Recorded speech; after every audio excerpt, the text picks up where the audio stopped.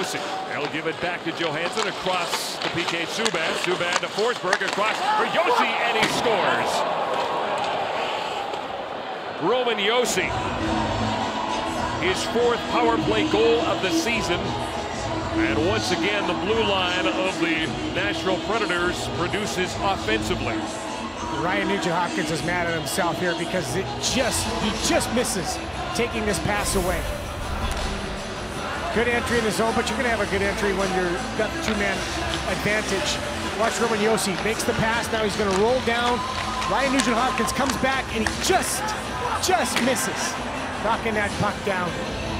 This nice puck movement, a fantastic pass. Look at that pass by Filip Forsberg. You want to talk about sauce?